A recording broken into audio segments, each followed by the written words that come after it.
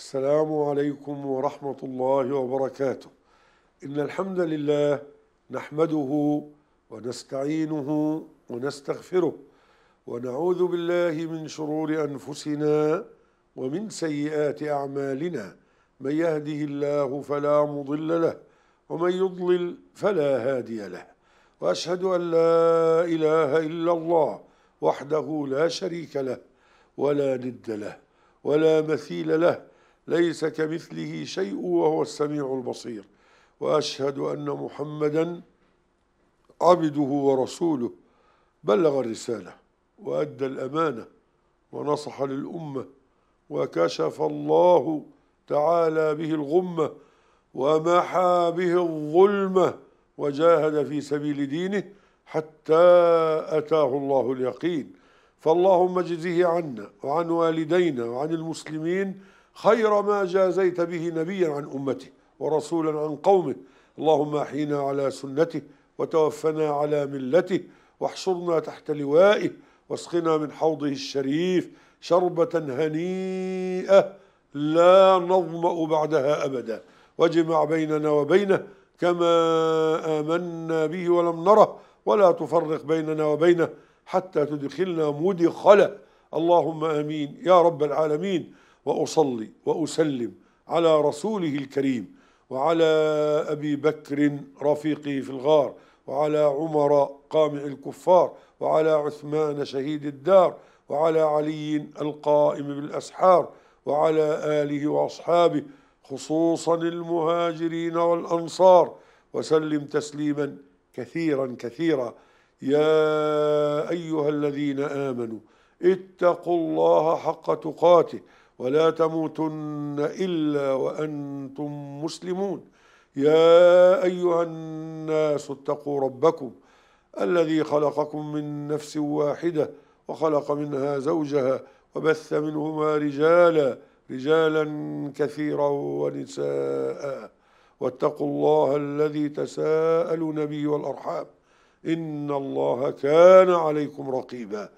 يا أيها الذين آمنوا اتقوا الله. وقولوا قولا سديدا يصلح لكم أعمالكم ويغفر لكم ذنوبكم ومن يطع الله ورسوله فقد فاز فوزا عظيما. ثم أما بعد فإن أصدق الحديث كتاب الله تعالى وخير الهدي هدي محمد صلى الله عليه وآله وصحبه وسلم وشر الأمور محدثاتها وكل محدثة بدعة وكل بدعة ضلالة وكل ضلالة في النار. أحبتي في الله أهلا ومرحبا بكم عبر شاشة قناة الرحمة الفضائية في برنامجكم درر المسائل. وفي هذه السلسلة التي في برنامج درر المسائل أيها الآباء اهتموا بتربية الأبناء. أيها الآباء اهتموا بتربية الأبناء. وذلك انطلاقا من آية سورة التحريم. يا أيها الذين آمنوا قوا أنفسكم وأهليكم نارا. الآية ومن حديث ابن عمر رضي الله عنهما في الصحيحين كلكم راع وكل مسؤول عن رعيته. نعم نعم أيها الأحبة. فلماذا لا تحاول أن تزرع الإيمان في نفوس أبنائك؟ ما استطعت إلى ذلك سبيلا. فمثلا ترغب ابنك في أن يؤذن في المسجد. فالمؤذنون أطول الناس اعناقا يوم القيامة كما ثبت في صحيح مسلم من حديث معاوية. رغبه وبين له الحديث المؤذنون أطول الناس أعناق يوم القيامة. فترغبه من خلال هذا الحديث وتقول له ثبت يا ولدي في الصحيحين أن النبي صلى الله عليه وسلم قال لو يعلم الناس ما في النداء النداء اللي هو إيه؟ اللي هو الأذان. لو يعلم الناس ما في النداء والصف الأول. شوف الناس يكونوا في المسجد جالسين ويتهاون ولا يتسابق إلى الصف الأول. مع إنه أتى يعني أول واحد أتى المسجد وربما يصلي في الصف الثاني في الصف الثالث. يا أخي إن الله قد أنعم عليك وأتيت مبكرا. فأنت يعني أنت أولى بالصف الأول يا من أتيت مبكرا.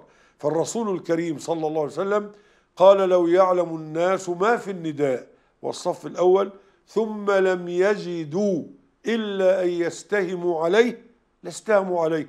يسوون قرعة يسوون قرعة وذلك لعظم أجر الآذان ولعظم أجر الصف الأول. ولو يعلمون ما في التهجير. التهجير يعني إيه؟ أي التبكير إلى الصلاة. لو يعلمون ما في التهجير لاستبقوا إليه. لو يعلمون ما في التهجير لاستبقوا إليه. فمثلا في صلاة الجمعة يعني من أتى في الساعة الأولى كأنما ضحى ببدنه ومن أتى في الساعة الثانية كأنما ضحى ببقرة ومن أتى في الساعة الثالثة كأنما ضحى بكبش ومن أتى في الساعة الرابعة كأنما ضحى بدجاجة ومن أتى في الساعة الخامسة كأنما ضحى ببيضة ومن أتى بعدما يصعد الخطيب في المنبر فالملائكة تطوي الصحف وتجلس لاستماع الذكر يعني لا يسجل.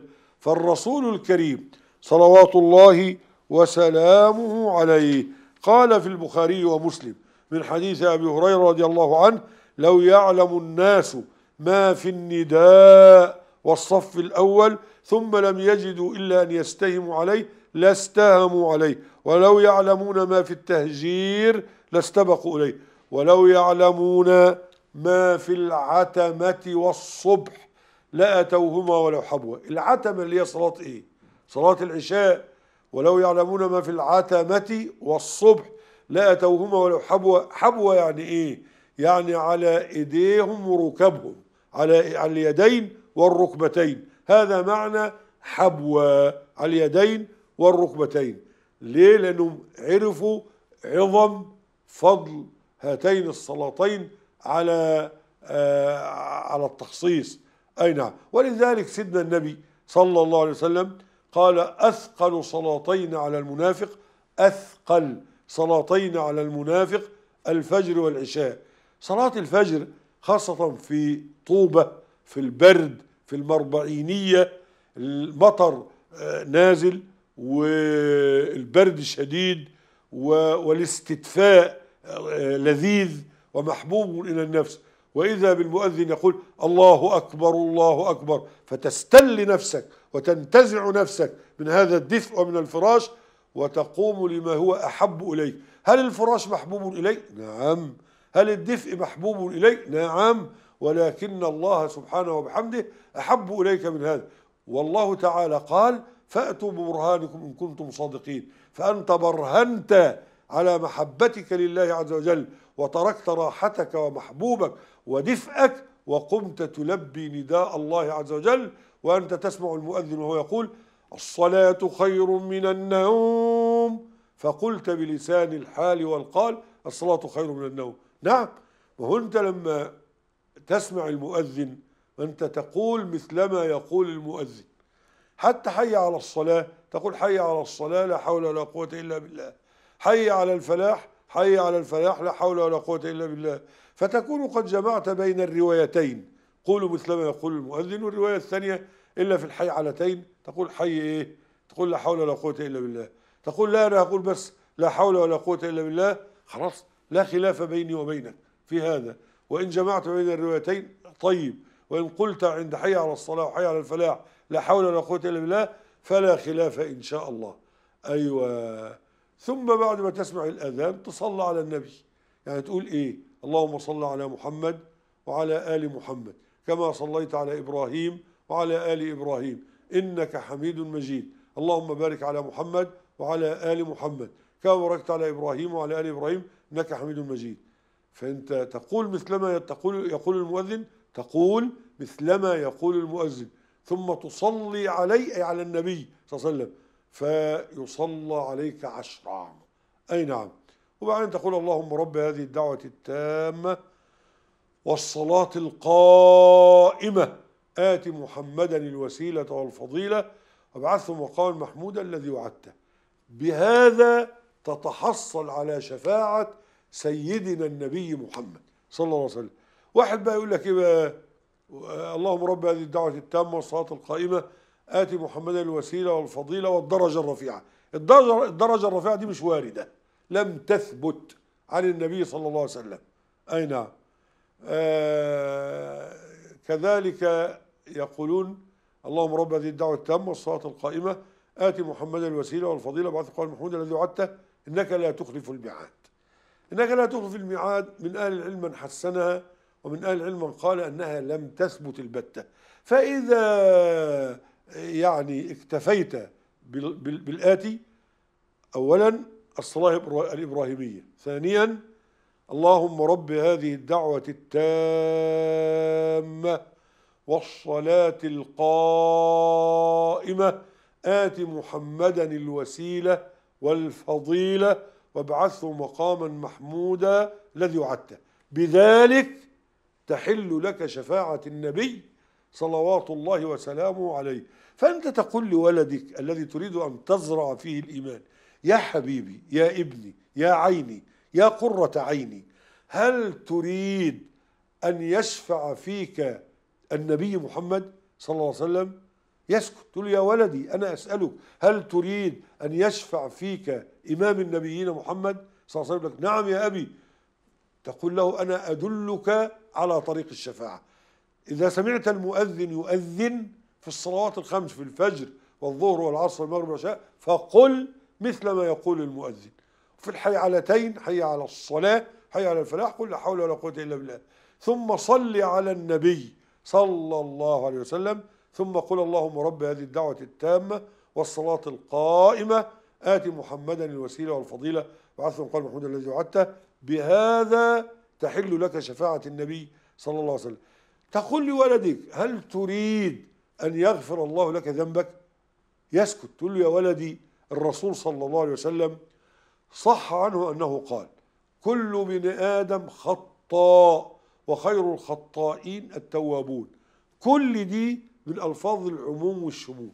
وخطاء صيغة مبالغة على وزن فعال أي كثير الخطأ. كلنا كذلك. كل بن آدم خطاء من صيغ العموم السبعة. كل دي. كل بن آدم خطاء. وخير الخطائين توابون فهل أنت تخطئ يا ولدي؟ نعم. هل أنت تذنب يا ابني؟ نعم. هل أنت تقصر يا ابني؟ نعم. طب أنا أدلك على طريق المغفرة من الغفور الغفار. تريد؟ يقول نعم أريد.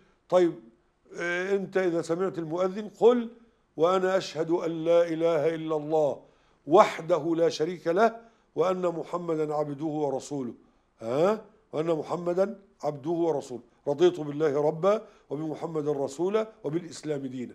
إن قلت هذا اقتداء وتأسيا بنبينا محمد صلى الله عليه وسلم غفر الله لك ذنبك. غفر الله لك ذنبك. يبقى أنت قلت له حينما أردت أن تزرع الإيمان في نفسه قلت له يا ولدي حافظ قدر الاستطاعة على أن ترفع الآذان. أي نعم. طب ليه المؤذنون أطول الناس أعناقا يوم القيامة؟ هذا في صحيح مسلم حديث معاوية. طيب ليه؟ لأن الرسول صلى الله عليه وسلم قال لو تعلمون ما في النداء والصف الأول ثم لم تجدوا إلا أن تستهموا عليه لاستهموا عليه ولو تعلمون ما في التهجير أي التبكير إلى الصلاة لاستبقوا ولو يعلمون ما في العتمة والصبح لا توهما ولو حبوة. هذا في الصحيحين. بارك الله فيك. نعم هذا في الصحيحين. فترغبه في هذا. ثم ماذا تقول بعد الأذان؟ تقول كذا إذا أردت أن يغفر الله لك. وتريد كذا إذا أردت أن تتحصل على شفاعة النبي صلوات الله وسلامه عليه. ومن ناحية آه، الصلاة على النبي والدعاء بطلب الوسيلة هذا في صحيح مسلم من حديث عبد الله ابن عمرو رضي الله تعالى عنه. طيب في الحديث بقى في البخاري من حديث عبد الله بن عبد الرحمن بن أبي صعصعة أن أبا سعيد الخدري رضي الله تعالى عنهم أجمعين قال له أي أبو سعيد الخدري قال لعبد الله ابن عبد الرحمن بن صعصعة إني أراك إني أراك تحب الغنم والبادية. إني أراك تحب الغنم والبادية. فإذا كنت في غنمك وباديتك فأذنت للصلاة فارفع صوتك للنداء فإنه لا يسمع مدى صوت المؤذن. من جن أو إنس أو شيء إلا شهد له يوم القيامة. أي جن أي إنس أي شيء شجر حجر يشهد له يوم القيامة. تقول أه الشجر يشهد؟ نعم. وإن من شيء إلا يسبح بحمده ولكن لا تفقهون تسبيحه. وقالوا لجلودهم لما شهدتم علينا؟ قالوا أنطقنا الله الذي أنطق كل شيء. فالحجر والشجر سيشهد والأرض والأرض ستشهد. يومئذ تحدث إيه؟ يومئذ تحدث أخبارها. يومئذ تحدث أخبارها. هذا مشى علي لطاعة الله لأداء الصلوات الخمس في جماعة للإصلاح ذات البين للأمر بالمعروف بالمعروف للنهي عن المنكر بغير المنكر على بصيرة بالحكمة والموعظة الحسنة لصلة الأرحام. إلى غير ذلك من الأعمال الصالحات الطيبات المباركة. وهذا مشى علي حتى يقع في الفاحشة. وهذا مشى علي لينم بين أسرتين أو قبيلتين أو فردين أو دولتين أو ما شاكل ذلك. وهذا مشى علي حتى يسرق وهذا مشى علي ليصل إلى مكان كذا فيرتشي. إلى غير ذلك الأرض تشهد على الإنسان. فهنا في الحديث فارفع صوتك بالنداء. فما من جن ولا إنس ولا شيء إلا ويشهد لك يوم القيامة. نعم. إني أراك تحب الغنم والبادية فإذا كنت في غنمك أو باديتك فأذنت للصلاة فارفع صوتك بالنداء فإنه لا يسمع مدى صوت المؤذن فإنه لا يسمع مدى صوت المؤذن فإنه لا يسمع مدى صوت المؤذن جن ولا إنس ولا شيء إلا شهد له يوم القيامة. قال أبو سعيد سمعته من رسول الله صلى الله عليه وسلم كما ثبت ذلك في البخاري. واعلم أنه ثبت في الصحيحين من حديث أبي هريرة رضي الله عنه أن النبي صلى الله عليه صلي صلى الله عليه وسلم قال إذا نودي بالصلاة إذا نودي بالصلاة إذا نودي بالصلاة يعني رفع الأذان. آه أدبر الشيطان. الشيطان هرب جرى ركض. أدبر الشيطان. له ضراب حتى لا يسمع التأذين. فإذا قضي النداء أي خلص المؤذن الأذان أقبل. حتى إذا ثوب للصلاة. يعني حتى إذا ثوب للصلاة؟ يعني حتى إذا أقيمت الصلاة. هذا معنى حتى إذا ثوب للصلاة. أدبر. حتى إذا حتى إذا قضي التثويب انتهى من الإقامة أقبل. حتى يخطر بين المرء ونفسه. الشيطان يبدأ بقى يوسوس لك. يقول اذكر كذا واذكر كذا حتى يذكرك بأشياء أنت نسيتها أصلا حتى يظل الرجل ما يدري كم صلى. يا رب صلى ثلاثة ولا أربعة في الظهر أو العصر أو العشاء في الصلاة الرباعية. صلى واحدة ولا ثنتين في الفجر. صلى اثنين ولا ثلاثة في المغرب. فيقول اذكر كذا واذكر كذا. آه، لما لم يذكر من قبل حتى يظل الرجل ما يدري كم صلى نسأل الله السلام. صراع بين أهل الإيمان والشيطان. صراع بين أهل الإيمان وحزب إيه؟ الشيطان. والشيطان حريص على إفساد عقائد العباد ليضلهم عن سبيل الله. حرب بين المؤمنين والشيطان والعياذ بالله. والشيطان يستخدم أساليب متنوعة وطرق شتى لإيه؟ لإلهاء بني آدم فهو يعرف ما يشغلهم. نسأل الله أن يعيذني وإياكم منه. اللهم آمين يا رب العالمين. إخوة الإيمان وأحبة الإسلام بهذه الكيفية وبهذه الطريقة تزرع الإيمان في نفس ولدك وأنت, وأنت تحببه في الطاعات. ها؟ اللهم حبب إلينا الإيمان. وزينه في قلوبنا وكره إلينا الكفر والفسوق والعصيان. واجعلنا يا ربنا من الراشدين فضلا منك ونعمة. هكذا يدعو الإنسان بارك الله فيك ويلح على الله عز وجل. فيبين له آه، الفضل. يقول له يا ابني أنت مسلم وفي قلبك لا إله إلا الله وأنت حرمتك عند الله عز وجل أعظم من حرمة الكعبة. أنا أريد منك أن تكون حريص على على الصلوات الخمس في جماعة لأن الله سبحانه وبحمده قال في سورة البقرة وأقيموا الصلاة وآتوا الزكاة واركعوا مع الراكعين. وهذه الآية الكريمة دلالة على فرضية صلاة الجماعة على أعيان الرجال. فيا أيها الحبيب المحب بهذه الكيفية تزرع الإيمان في نفس ولدك وتحببه في صلاة الجماعة. وفي سائر الطاعات حيث قال الله تعالى وأقيموا الصلاة وآتوا الزكاة واركعوا مع الراكعين. فأنت تبين له أن صلاة الجماعة فرض عين على الرجال تبين له الفضيلة أن الرسول الكريم صلى الله عليه وسلم صح عنه أنه قال صلاة الجماعة أفضل من صلاة الفذ أي الفرد بسبع وعشرين درجة. تبين له بارك الله فيك ما قاله ابن مسعود في صحيح مسلم من سره أن يلقى الله تعالى غدا مسلما فليحافظ على هؤلاء الصلوات حيث ينادى بهن. فإن الله تعالى شرع لنبيكم سنن الهدى وإنهن من سنن الهدى. ولو أنكم صليتم في بيوتكم كما يصلي هذا المتخلف في بيته لتركتم سنة نبيكم ولو تركتم سنة نبيكم لضللتم. وما كان يتخلف عنها أي عن صلاة الجماعة إلا منافق معلوم النفاق. ولقد كان الرجل يؤتى به يهادى بين الرجلين حتى يقام في الصف. فتود تحبب لابنك صلاة الجماعة وهو يرى بأم عينيه يراك بأم عينيه ذاهبا إلى صلاة الجماعة. لأن الله تعالى قال يا أيها الذين آمنوا لم تقولون ما لا تفعلون؟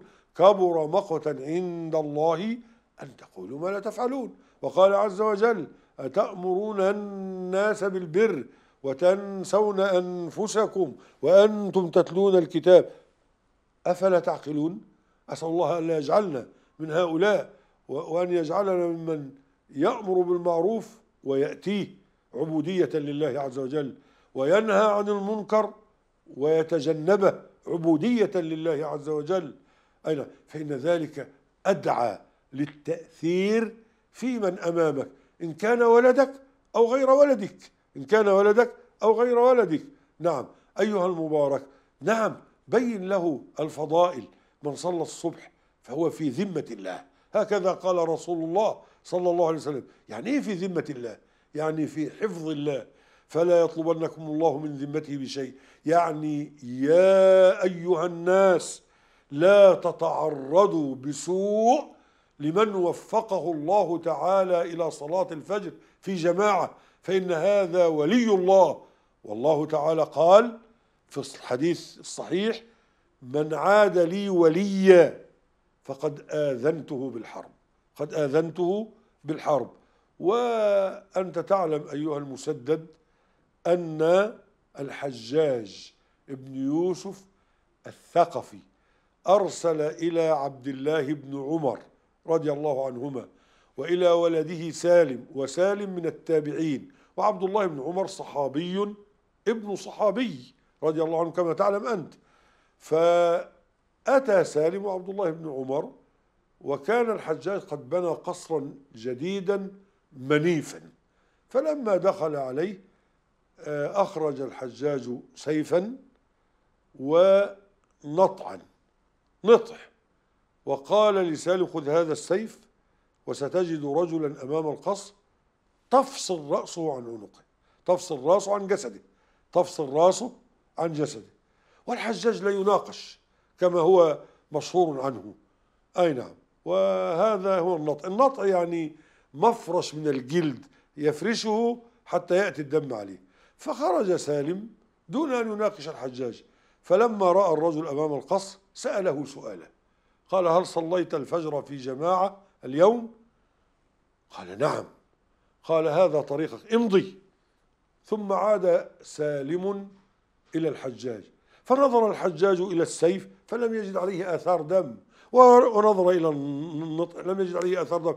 قال لم لم تأتمر بأمري يا سالم؟ قال أصلح الله الأمير. لقد سألت الرجل هل صليت الفجر في جماعة؟ قال نعم. فالرجل في ذمة الله وما كنت لأخفر ذمة الله. فأسكت الله الحجاج وفرك عبد الله بن عمر يديه في بعضهما البعض. وقال لذلك سميته سالم. ها؟ أو قال قريبا من هذا رضوان الله تعالى عليهم أجمعين. أيها الأحباب الكرام بهذه الكيفية وبهذه الطريقة أنت تحاول ما استطعت إلى ذلك سبيلا زرع الإيمان في نفوس أبنائك من البنين ومن البنات. نعم أيها المبارك فأنت تقول لولدك أن جرير بن عبد الله البجلي رضي الله تعالى عنه قال كنا جلوسا عند النبي صلى الله عليه وسلم فنظر إلى القمر ليلة البدر أي ليلة التمام ليلة الرابع عشر فقال إنكم سترون ربكم. من المتكلم؟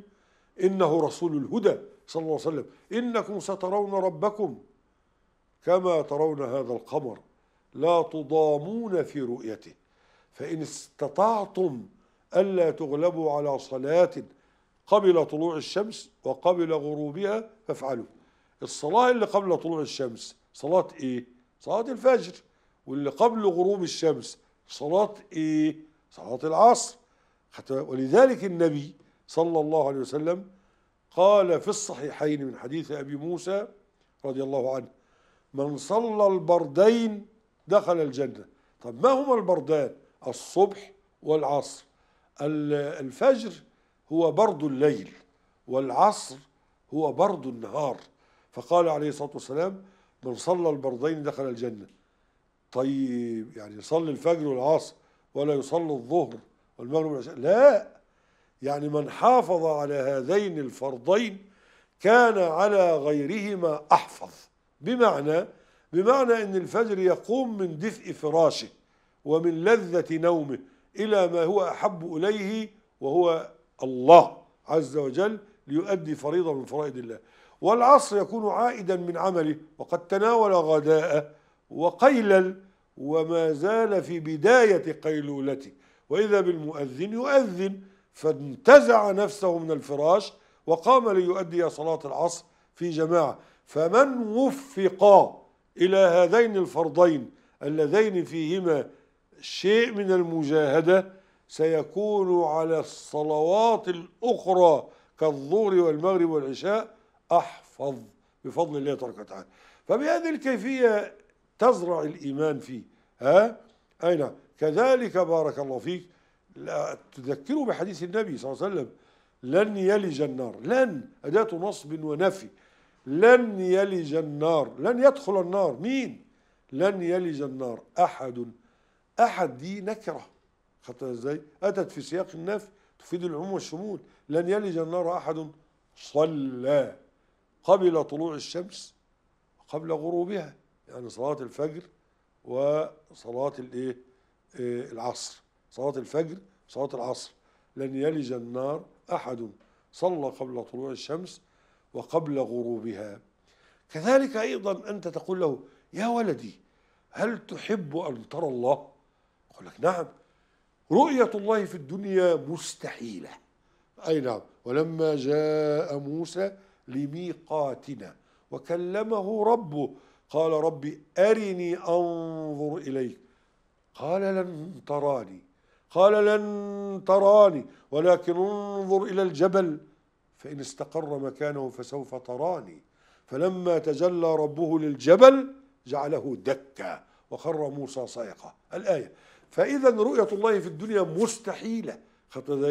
أما أهل الإيمان سينعمون بلذة النظر إلى وجه الله الكريم. وأنت سمعت الحديث حديث جرير. كنا جلوسا عند النبي صلى الله عليه وسلم فنظر إلى القمر ليلة البدر فقال إنكم سترون ربكم. كما ترون هذا القمر لا تضامون في رؤيته. فإن استطعتم ألا تغلبوا. على صلاة قبل طلوع الشمس قبل غروبها أفعلوا. إذا المحافظة على الصلاة في جماعة سبيل لأن تنعم برؤية الرب العظيم الملك القدوس. ها؟ هكذا ترغبه والله تعالى بين في كتابه فقال وجوه يومئذ ناظرة. إلى ربها إيه؟ إلى ربها ناظرة. والله تعالى قال في كتابه للذين أحسنوا الحسنى إيه؟ وزيادة. الحسنى هي الجنة والزيادة هي النظر إلى وجه الله الكريم. الله سبحانه وتعالى قال إيه؟ لهم ما يشاءون فيها ولدينا مزيد. المزيد إيه؟ النظر إلى وجه الله الكريم. الله سبحانه وتعالى قال في كتابه إيه؟ كلا إنهم عن ربهم يومئذ لمحجوبون. ماذا يعنى؟ يعني أهل الكفر سيحجبون عن رؤية الله عز وجل. فمفهوم المخالفة أن أهل الإيمان سينعمون بلذة النظر إلى وجه الله الكريم. نسأل الله الكريم من فضله وأن يمن المنان علينا بالنظر إلى وجه الله الكريم. إذا هناك مؤهلات ومسوغات إلى ذلك. فإن وفقت إليها من المنان عليك بذلك. أيها الأحبة أيها الآباء اهتموا بتربية الأبناء. ويكون ذلك من خلال زرع الإيمان في نفوسهم زرع الإيمان في صدورهم زرع الإيمان في قلوبهم. ما استطعت إلى ذلك سبيلا وكن قدوة وكن أسوة وكن داعيا لهم بلسان الحال قبل القال. وفقني الله وإياكم لمرضاته فإنه ولي ذلك والقادر عليه. وصل اللهم وسلم وبارك على البشير النذير محمد. سبحانك اللهم وبحمدك أشهد أن لا إله إلا أنت أستغفرك وأتوب إليك. والسلام عليكم ورحمة الله وبركاته.